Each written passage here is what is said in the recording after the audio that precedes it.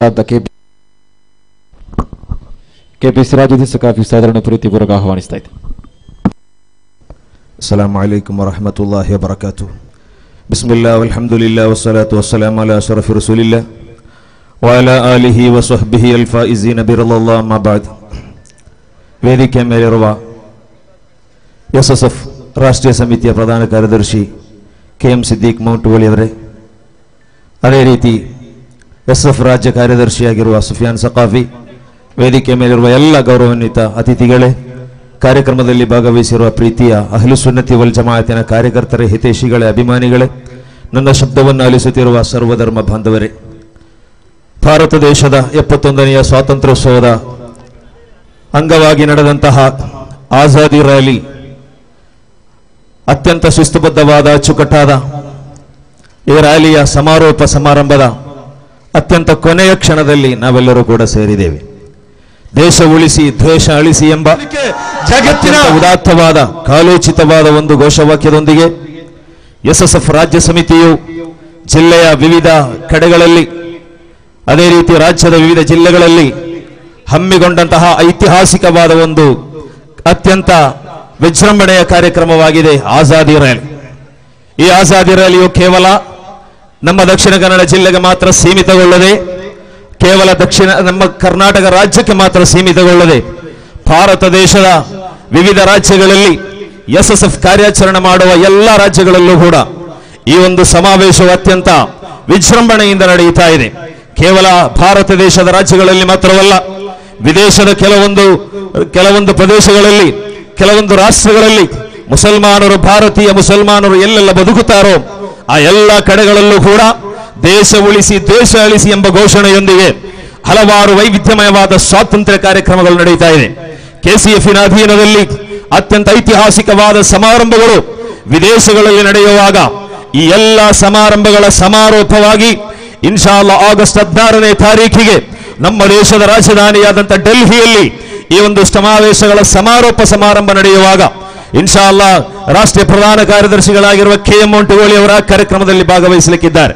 ಪ್ರೀತಿಯ ಸಹೋದರರೇ, ನಮ್ಮ ಈ ಸಮಾವೇಶದ ಘೋಷಣೆಯ ಬಗ್ಗೆ ಹಲವಾರು ಭಾಷಣಗಳನ್ನು ನಾವು ಕೇಳಿದ್ದೇವೆ. ಸಂಘಟನೆಯ ಧ್ಯೇಯೋದ್ದೇಶಗಳ ಬಗ್ಗೆ ನಾವು ಮಾತುಗಳನ್ನು ಕೇಳಿದ್ದೇವೆ. ಈ ದೇಶದಲ್ಲಿ ನಾವು ಅತ್ಯಂತ ಪ್ರಪ್ರಥಮವಾಗಿ ಹೇಳುವಂತಹ ಬೆಸಸಫಿ ನಾಡಿನ ಮುಂದೆ ಇಡುವಂತಹ ಒಂದು ಸಂದೇಶ, ದೇಶ ಉಳಿಸಿ ದ್ವೇಷ ಅಳಿಸಿ ಎಂಬುದಾಗಿದೆ. ಈ ದೇಶವನ್ನು ಉಳಿಸಬೇಕಾದರೆ ಯಾವತ್ತೂ ಕೂಡ ಹಿಂಸೆಯ ಮಾರ್ಗದಿಂದ ಅದನ್ನು ಉಳಿಸಲಿಕ್ಕೆ ನಮ್ಮಿಂದ ಸಾಧ್ಯವಿಲ್ಲ.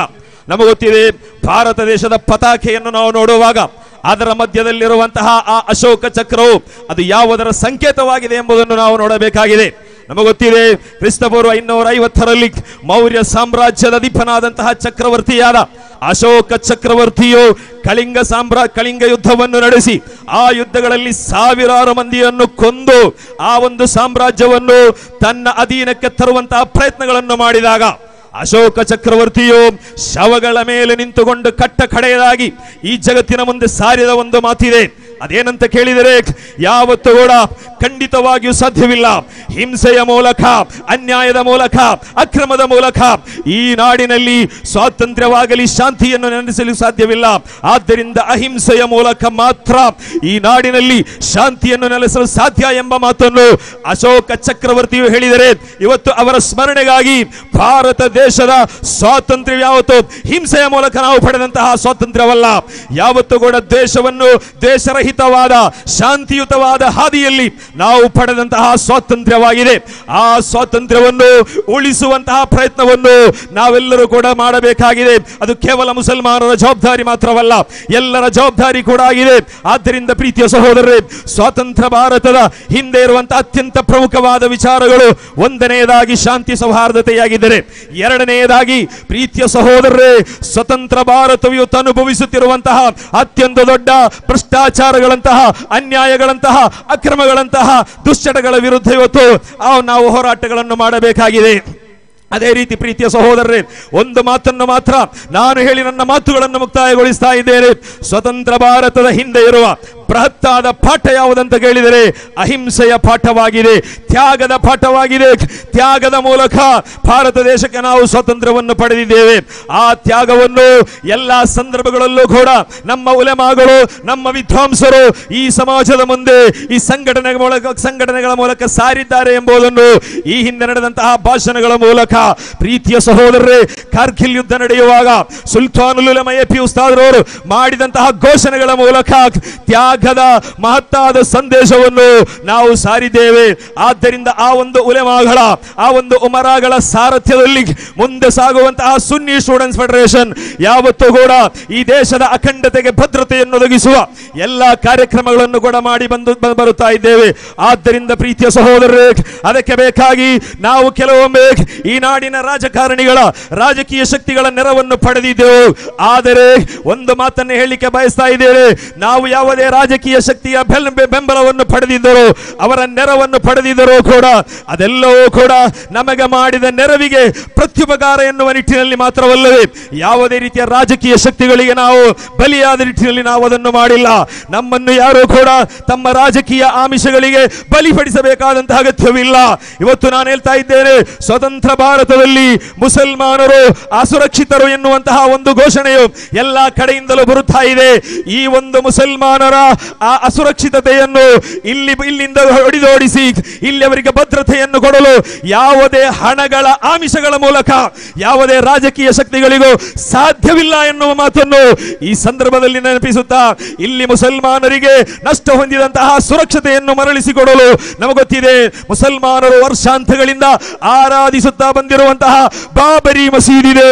ಪ್ರೀತಿಯ ಸಹೋದರರೇ, ಸಾವಿರದ ಒಂಬೈನೂರ ತೊಂಬತ್ತೆರಡರಲ್ಲಿ ಬಾಬರಿ ಮಸೀದಿಯು ಧ್ವಂಸಗೊಂಡು ಇವತ್ತಿಗೆ ಇಪ್ಪತ್ತೈದು ವರ್ಷಗಳು ಪೂರ್ತಿಯಾಗುವಂತಹ ಸನ್ನಿವೇಶದಲ್ಲಿ ಇವತ್ತು ಮುಸಲ್ಮಾನರ ಸಂರಕ್ಷಣೆಗೆ ಬೇಕಾಗಿ, ಮುಸಲ್ಮಾನರ ಸುರಕ್ಷಿತತೆಗೆ ಬೇಕಾಗಿ ಯಾವುದಾದರೂ ಸರ್ಕಾರವು ಮಾತುಗಳನ್ನಾಡುವುದಾದರೆ ಒಂದು ಮಾತನ್ನು ಹೇಳಿಕೆ ಇಚ್ಛೆ ಪಡುತ್ತಾ ಇದ್ದೇನೆ.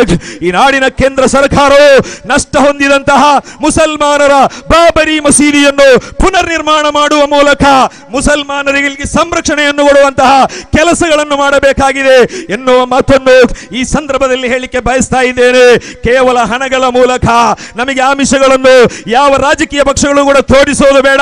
ನಾವು ಯಾವತ್ತೂ ಕೂಡ ಅದಕ್ಕೆ ಬಲಿಯಾಗುವವರಲ್ಲ.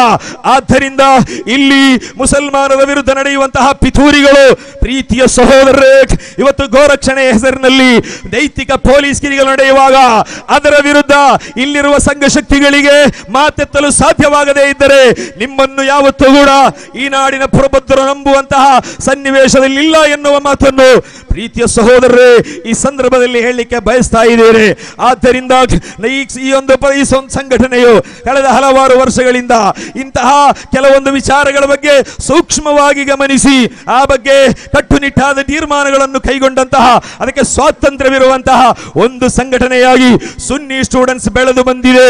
ಆದ್ದರಿಂದ ಈ ಒಂದು ಸಂಘಟನೆಯ ಸಂದೇಶವು ಇನ್ಶಾ ಅಲ್ಲಾ ಈ ನಾಡಿನ ಎಲ್ಲ ಕಡೆಗಳಲ್ಲೂ ಕೂಡ ಅತ್ಯಂತ ಉಜ್ವಲವಾಗಿ ಪ್ರತಿಫಲಿಸುವಂತೆ ಮಾಡುವಂತಹ ಎಲ್ಲ ಕೆಲಸಗಳನ್ನು ನಾವು ಮಾಡುತ್ತಾ ಇದ್ದೇವೆ.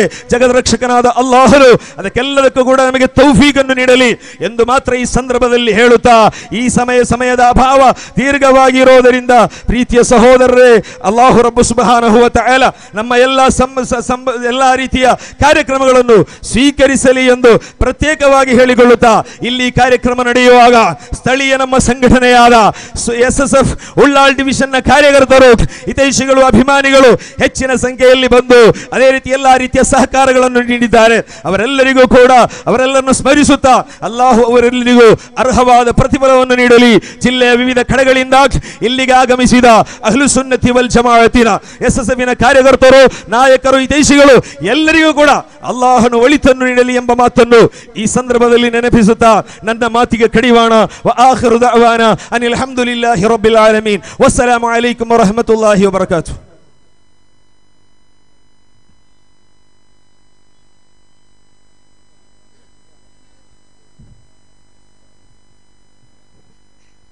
S S F